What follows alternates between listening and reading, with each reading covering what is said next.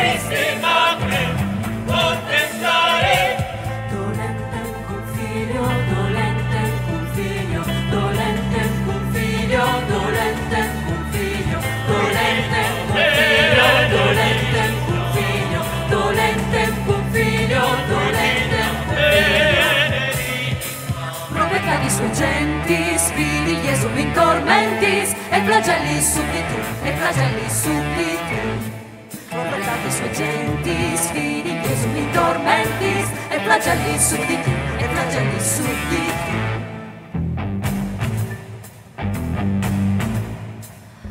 Questo posso contristare, questi madre contemplare, questo posso contristare, questi madre contemplare, questo posso contristare, questi madre contemplare,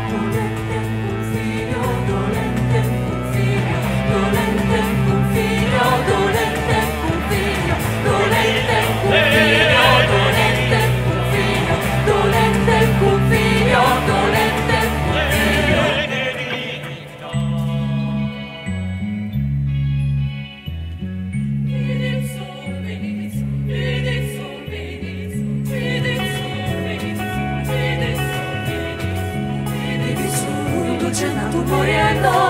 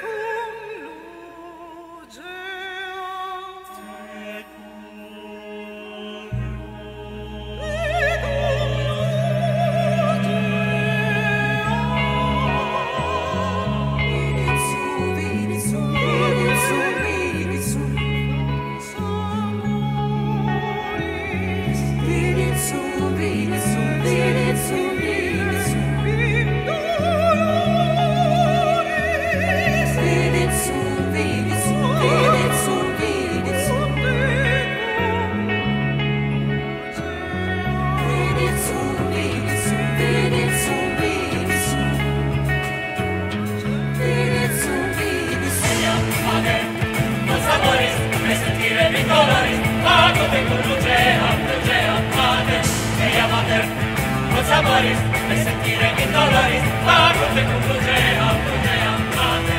Ella mater, los amores, me sentire mi dolores, quando te conducea, conducea, madre. Ella mater, los amores, me sentire mi dolores, quando te conducea, conducea, madre. Ella mater, ricevi, mater, ricevi. Como Cristo Cristo seta afflitta, cui che la benedicta, e la benedicta. Ma Cristo Cristo seta afflitta, cui che la benedicta. Como Cristo Cristo seta afflitta, cui che la benedicta. Ma Cristo Cristo seta afflitta, cui che la benedicta.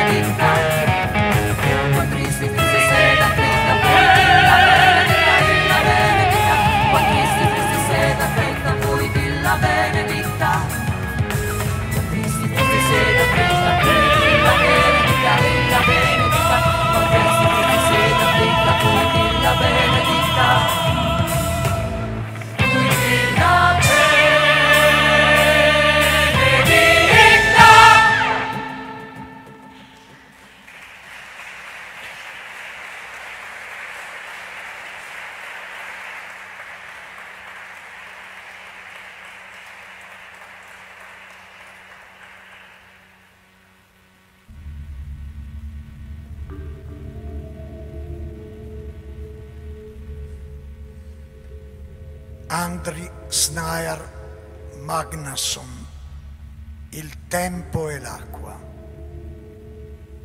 I deserti interni s'aprono in un ampio abbraccio azzurrino. La loro immobilità induce al silenzio e all'ascolto. Estasiato, ascolti il respiro della tua anima che per anni avevi dimenticato. Lì avverti per la prima volta la vastità del tuo spirito e resti fermo, stupito, in profondo silenzio, provando un'inesprimibile soggezione per la natura divina della tua anima. La distanza, l'azzurrità dei monti, la grande massa di ghiaccio, il mormorio immenso della quiete. Tutto si riflette e riecheggia sotto la cupola del tuo animo che si espande a toccare cielo e terra, l'intero orizzonte del tuo spirito. E corri con un canto che è un groppo in gola, corda che vibra in quei vasti e silenti spazi divini e con essi diventi tutt'uno. Sono parole di Helgi Valtisson, un romantico, un progressista, un poeta. Parole che usa per descrivere un posto davvero speciale in Islanda, nei deserti interni del nord, una sorta di isola, una distesa verde di 50 km quadrati a 600 metri sul livello del mare, incorniciata da una parte da due impetuosi fiumi glaciali e dall'altra da un ghiacciaio.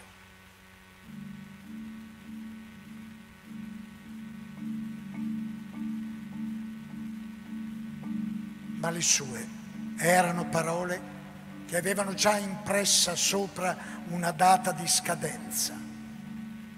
Perché quando Helgi tornò nelle aree abitate nel settembre del 1939, dopo due settimane senza alcun contatto con il resto del mondo, i tedeschi avevano invaso la Polonia. Di lì a poco manifestare una sfacciata fiducia in un'armonia con il divino non era più ammissibile. Il mondo aveva perso la sua innocenza e gli orrori della guerra inducevano a chiedersi dove fosse davvero quel cosiddetto Dio. Quando un sistema crolla, il linguaggio perde ogni presa sul reale. Le parole invece di catturare cose e concetti come dovrebbero, restano sospese nel vuoto, inapplicabili. Da un giorno all'altro i libri di testo si fanno obsoleti e ogni gerarchia si deforma. Di colpo non sappiamo più trovare termini e concetti che corrispondono alla realtà per parlare della terra. Dobbiamo adoperare le parole della scienza, delle emozioni, della statistica o della fede. Fino a che punto possiamo attingere al nostro privato ed essere sentimentali? Possiamo usare le manifestazioni d'amore altisonanti, i freddi dati statistici le dichiarazioni di guerra, la complessità della filosofia, la destra, la sinistra, il bello, il brutto, la crescita economica.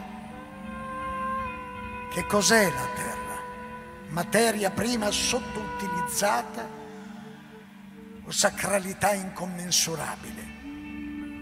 Oppure le zone incontaminate devono essere convertite in tabelle e grafici che indichino il valore economico e sociale della natura nell'appendice 4b di un documento di valutazione dell'impatto ambientale? Se sono a rischio la mia vita, la mia terra e i miei figli, non ho forse il dovere di capire che cosa c'è in gioco? Quali parole allora sono capaci di definire il mondo?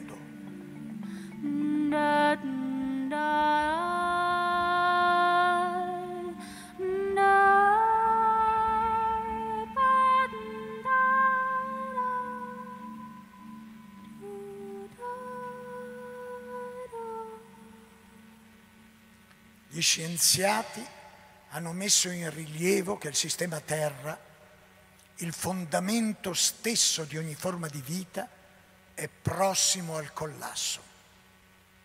Le principali ideologie del XX secolo erano basate sul presupposto che la natura fosse un giacimento inesauribile di materie prime a basso costo. Ci siamo comportati come se l'atmosfera potesse assorbire all'infinito le nostre emissioni come se il mare potesse inghiottire tutti i nostri rifiuti, come se il suolo potesse produrre sempre di più grazie a dosi crescenti di fertilizzante, come se le specie animali potessero spostarsi un po' più in là ogni volta che gli esseri umani occupavano nuovi spazi. In un'epoca in cui adoriamo i dispositivi, la tecnologia, la moda e i marchi, ci sarebbero tutti i motivi per fondare un'associazione che venerasse la madre terra, gli uccelli, i boschi e il mare. Si potrebbe anche dire una preghiera.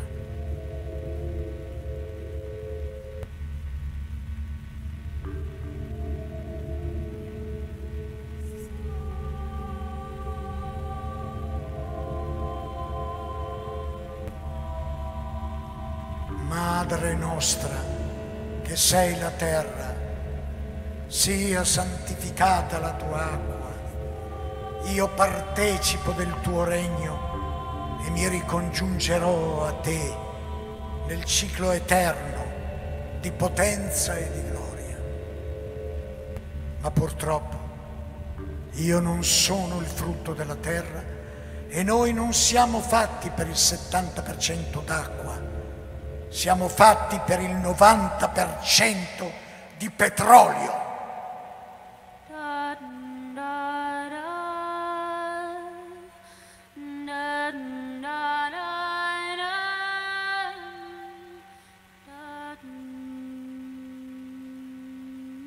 Ogni trasformazione comporta uno stadio intermedio di caos, come narra un antico poema descrivendo l'inizio della creazione.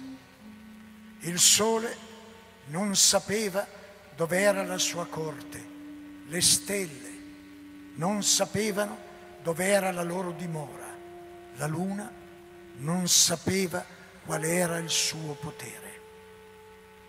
Ma il caos non è confinato al bordo di un ghiacciaio.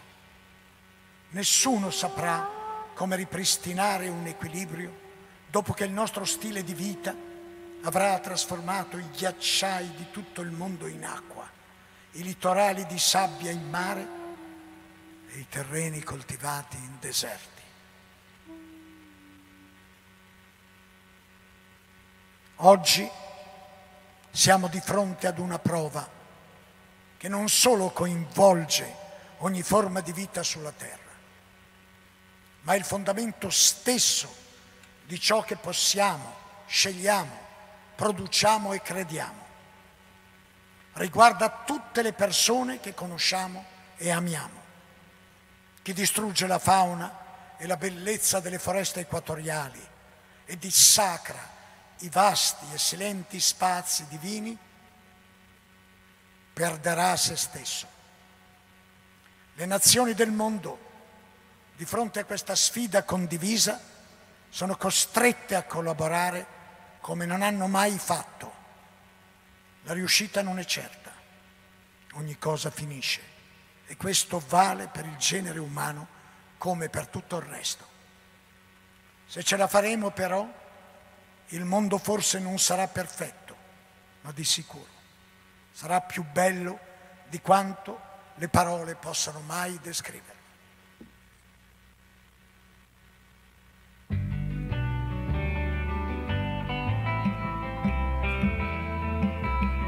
Santa Mater, Mater istudagas,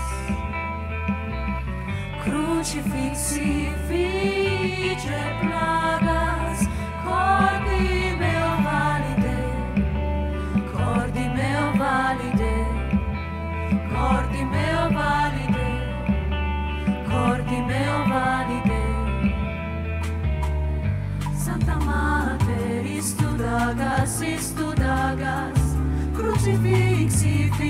plagas cordi meo valide Santa Mater istudagas istudagas crucifixi fige plagas.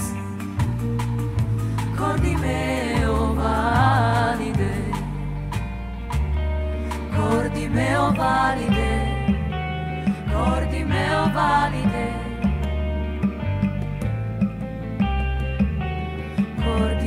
cordi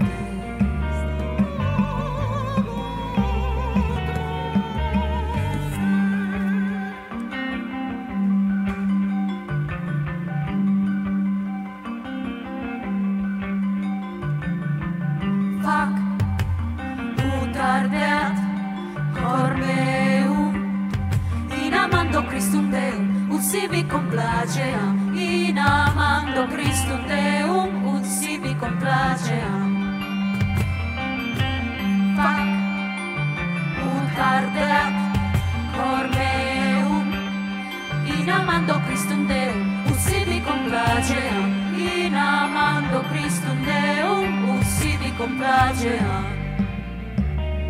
Cordi meo oh valide. Cordi meo oh valide. Cordi meo oh valide.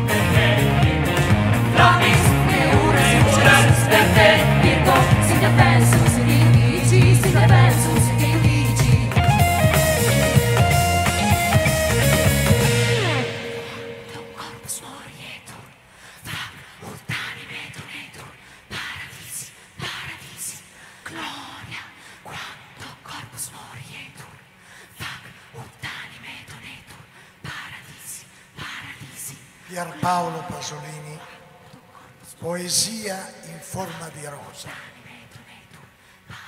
Mi domando che madri avete avuto, se ora vi vedessero al lavoro in un mondo a loro sconosciuto, presi in un giro mai compiuto d'esperienze così diverse dalle loro, che sguardo avrebbero negli occhi, se fossero lì, mentre voi scrivete il vostro pezzo, conformisti e barocchi, o lo passate a redattori rotti ad ogni compromesso, capirebbero, capirebbero chi siete?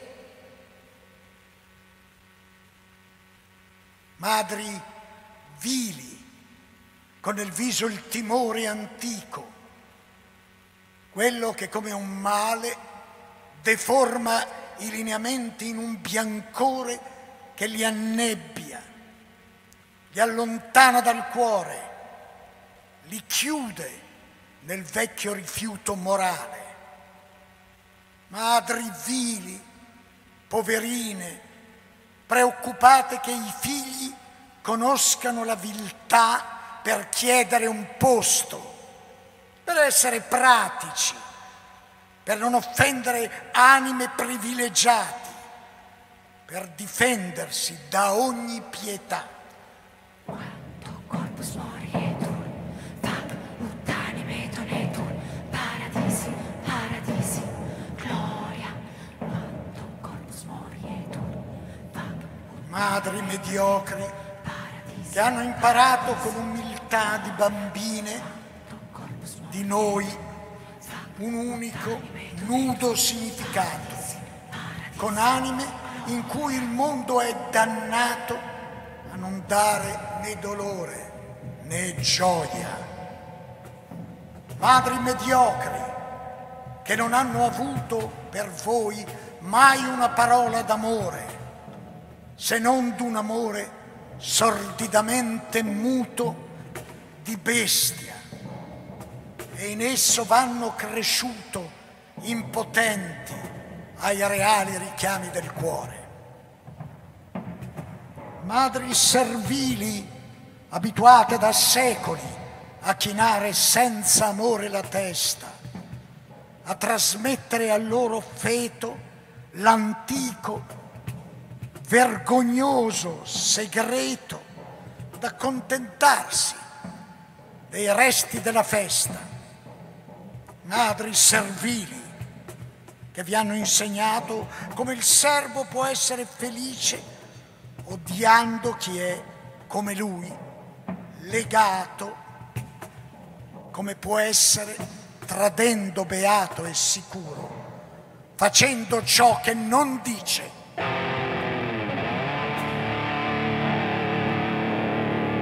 Padri feroci, intente a difendere quel poco che borghesi possiedono, la normalità e lo stipendio, quasi con rabbia di chi si vendichi o sia stretto da un assurdo assedio. Madri feroci che vi hanno detto sopravvivete, pensate a voi. Non provate mai pietà o rispetto per nessuno. Covate nel petto la vostra integrità di avvoltoi. Ecco, vili, mediocri, servi, feroci, le vostre povere madri, che non hanno vergogna a sapervi nel vostro odio, addirittura superbi, se non è questa che è una valle di lacrime. È così che vi appartiene questo mondo, fatti fratelli nelle opposte passioni o le patrie nemiche, dal rifiuto profondo ad essere diversi, a rispondere del selvaggio dolore di essere uomini.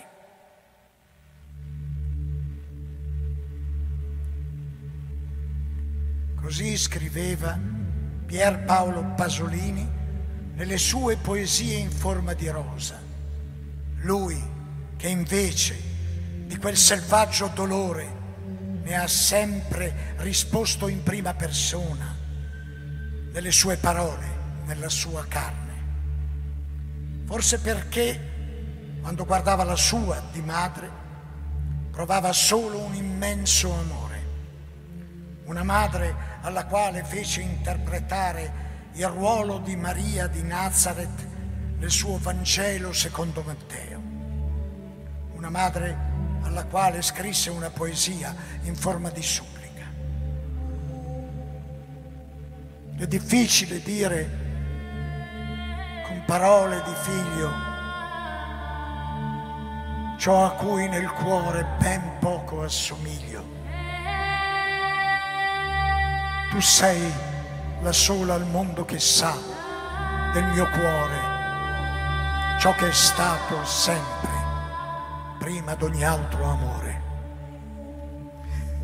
Per questo devo dirti ciò che è orrendo conoscere è dentro la tua grazia che nasce la mia angoscia. Sei insostituibile. Per questo è dannata alla solitudine la vita che mi hai data. E non voglio essere solo. Ho un'infinita fame d'amore, dell'amore di corpi senza anima, perché l'anima in te sei tu, ma tu sei mia madre. E il tuo amore è la mia schiavitù. passato l'infanzia, schiavo di questo senso alto, irrimediabile, di un impegno immenso. Era l'unico modo per sentire la vita, l'unica tinta, l'unica forma. Ora è finita. Sopravviviamo ed è la confusione di una vita rinata fuori dalla ragione.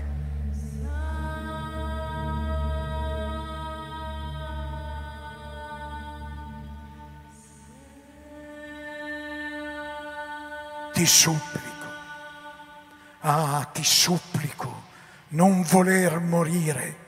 Sono qui solo con te in un futuro aprile.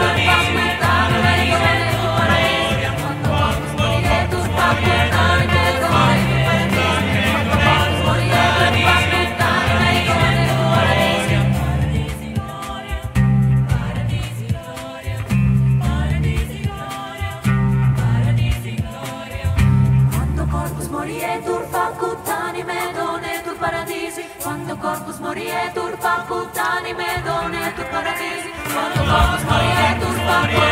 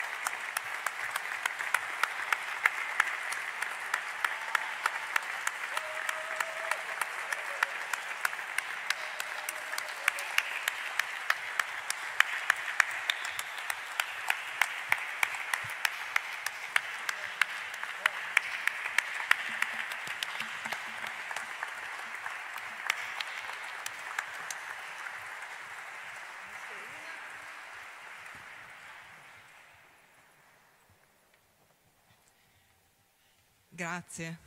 Grazie al maestro Sivilotti, al maestro Monio Vadia, alla voce soprano Franca Drioli, all'Arte Voce Ensemble, all'Accademia Musicale Naonis e all'Accademia Giovanile del Coro Friuli Venezia Giulia. Grazie soprattutto ad Angela Terzani che ogni anno ci consegna la responsabilità di celebrare il nome di suo marito qui in questo festival. E permettetemi, oltre al doveroso grazie verso il comitato scientifico, la giuria del premio, i partner e, e tutti gli enti con cui collaboriamo, di chiedervi un applauso fortissimo per tutti i nostri collaboratori, per i tecnici straordinari.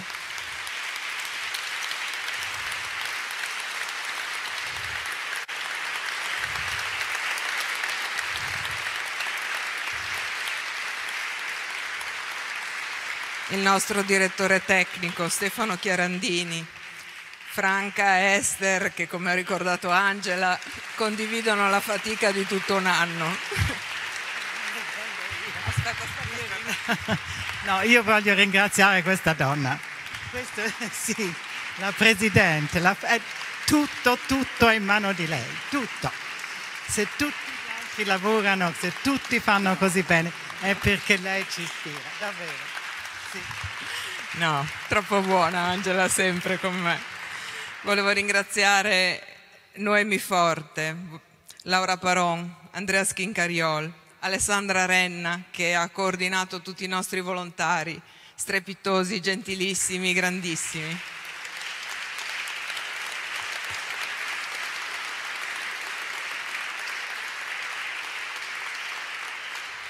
Il nostro ufficio stampa, il social media team, eh, gli interpreti Enrico Varesco,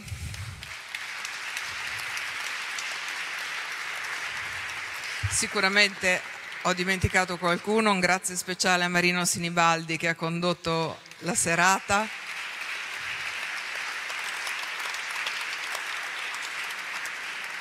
E di nuovo grazie alla famiglia Terzani. Viva il premio Terzani, appuntamento l'anno prossimo.